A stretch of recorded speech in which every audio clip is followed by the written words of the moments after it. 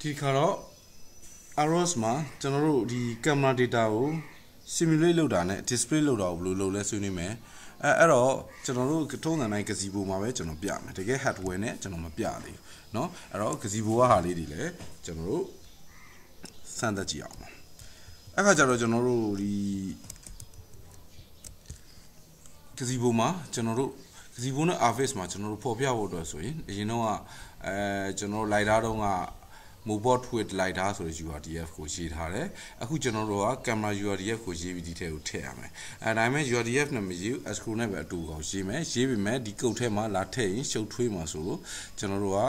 ကင်မရာအတွက်ကိုတတ်တတ်ရေးထားတယ် example မှာ example camera.escrow ဆိုပြီးတော့ camera link တစ်ခုရေးလိုက်ပါတယ်ဒါပါပဲဒီ camera link တစ်ခုရေးထားတယ်ဒါက camera link အတွက် gazebo property တွေဆိုပါเนาะ gazebo property တွေအဲဒီမှာ noise အတွက်ဒီမှာ Gaussian touch ကြီးပါမယ်เนาะနောက်တစ်ခုကဒါ image ရဲ့အဲ width နဲ့ height ကိုရေးထားမယ်ဒါကတော့ frame rate ပေါ့နော် frame rate လို့ပြောမှာ30ပေါ့နော်အဲပြီးတော့ခါကျတော့ဒါကသူ့ရဲ့ pose ပေါ့နော်အဲ့တော့ဒီအဲဒီ object pose ကဟိုဒီ link ရဲ့ဒီ center နေရာမှာရှိမှာပေါ့နော်အဲပြီးတော့ဒီမှာကျွန်တော်တို့ plugin ကိုဒီလိုခေါ်သုံးရမယ်သူ့အတွက် camera အတွက်အဲ gazebo ross plugin ကတော့ name ကတော့ library gazebo ross camera SO ဖြစ်ပါတယ်အဲအခါကျတော့ဒီမှာ distortion တွေလည်း K1 K2 K3 စသဖြင့်ဒါကင်မရာဆိုင်ရာသတ်မှတ်ချက်တွေရှိပါတယ် topic ထုတ်လွှင့်မဲ့ topic နေသည်အဲဒီမှာ image raw ဖြစ်ပါတယ် camera information topic နေသည် camera info ဖြစ်ပါတယ်ဒီကမို့ topic နေနေချိန်ချင်းဒီမှာချိန်လို့ရတယ်ဒါဆိုရင်ကျွန်တော်တို့ကဒီမှာ escrow တစ်ခုရေးပြီးတော့ဒီနှစ်ခုကိုဒီထဲထည့်ဖို့ဘယ်လိုထည့်မလဲဆိုတော့ onboard with lidar and camera ဆိုတဲ့ escrow လေးရေးလိုက်တယ်အဲ့ဒီ escrow မှာကျွန်တော်တို့က escrow include လုပ်တယ်ကျွန်တော်တို့ mobile with lidar ရဲ့ခုနက XML escrow ရဲ့နှစ်ခု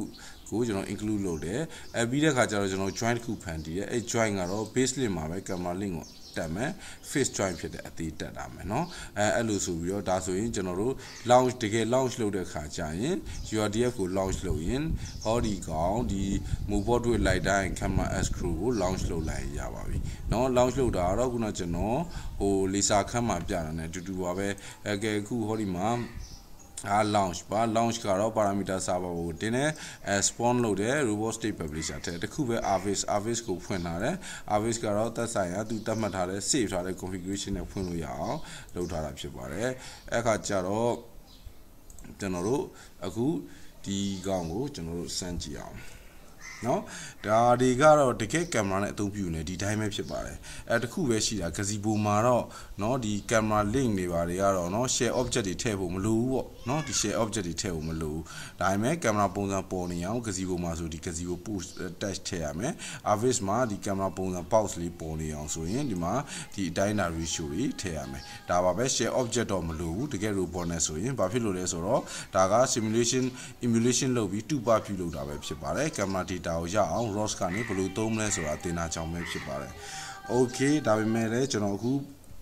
အဲ program ကို run ကြည့်မယ် run ကြည့်မယ်ဆိုတော့ဒီမှာခုနကကျွန်တော် runner ရဲ့ကောင်ဒီမှာ empty word တစ်ခုကိုကျွန်တော်ဖွင့်လိုက်မယ် empty word တစ်ခုကိုဖွင့်ပြီးလို့ရှိရင်ကျွန်တော်ဒီမှာနောက်ထပ်ကျွန်တော်ဒီခုနက င်မရာနဲ့ lighter ကိုကျွန်တော် launch လုပ်လိုက်မယ်เนาะအဲဆို avis ပွင့်လာအောင်လို့ကျွန်တော်အောက်ကနေစောင်းလိုက်မယ်ဟုတ်ပြီ avis ပွင့်လာပြီဟုတ်ပြီဒါဆိုရင်ကျွန်တော်တို့ဘာလုပ်နေသေးလဲဆိုတော့ဒီမှာကျွန်တော်တို့အခန်းလေးလိုသေးတယ်သူ tutorial တဲ့ကအဲ static band ဆိုတဲ့အခန်းလေးလိုသူ့ကို click နှိပ်လိုက်ရင်ဒါဆိုရင်ရပြီကားကိုနေရာနေနဲ့မတိုက်မိအောင်လို့ဟောဒီနေရာမှာတင်တော်တဲ့နေရာလေးမှာထားလိုက်မယ်เนาะဟုတ်ပြီဒါဆိုရင် ကြည့်မယ်ဆိုလို့ရှိရင်ဒီမှာကားကဒီလိုပုံစံမျိုးရောက်နေ။ Okay အဲ့တော့ကျွန်တော်တို့ဒီဟို avis ဖက်သွားအောင် avis ဖက်သွားရဲဆိုတော့ကျွန်တော်တို့ဒီမှာ camera topic ကိုထုတ်လွှင့်လာတယ်အခုနေ RAW run နဲ့ကြည့်ရင် camera topic image run ရှိနေပါတယ်အဲ့တော့ဒီမှာ camera ဆို camera ကိုပြောက်ဖို့အတွက် camera topic ကိုယူလိုက်เนาะဒါဆိုရင် camera display ထွက်လာပြီအဲ့တော့ topic ကလေးရွေးပေးမယ်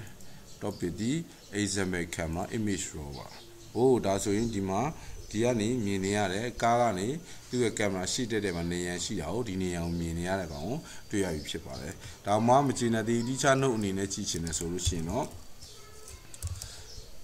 run Rosman image view ဆိုတဲ့ package ရှိပါတယ် image တွေကြည့်လို့ရအောင်ပါ image view ဆိုပြီးတော့ကျွန်တော်တို့က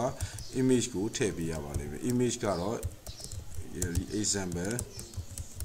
camera image raw ပါ เนาะဒါဆိုရင်လည်းအတူတူပါပဲเนาะ mobile robot ကရွေရှားတာနဲ့အများကင်မရာဒီလည်းအဲသူ့ရဲ့ display ဒီလည်းရွှေ့နေပါလိမ့်မယ်ကင်မရာကို display လုပ်တဲ့သင်ခန်းစာတော့အတူတူပါပဲအဲ gazebo မှာအသုံးပြုတဲ့ဟာဒါလင်တကယ် robot မရှိလို့ကျွန်တော်တို့ simulation လုပ်တာဖြစ်လို့နည်းနည်းရှုပ်เสียရှိပါတယ်အဲ့ဒီအပိုင်းတွေကတေချာတေသေးချာချာ research လုပ်ရမယ့်အပိုင်းတွေဖြစ်ပါတယ်အခုတော့ image data ကို ROS မှာဘယ်လိုသုံးမလဲ အဆင့်ကိုပြဖို့အတွက်လောလောဆယ်အဲဘယ်လို display လုပ်မလဲဆိုတာကိုပေါ်ပြတာဖြစ်ပါတယ်ကျေးဇူးတင်ပါတယ်နောက်အခန်းကိုတွားရအောင်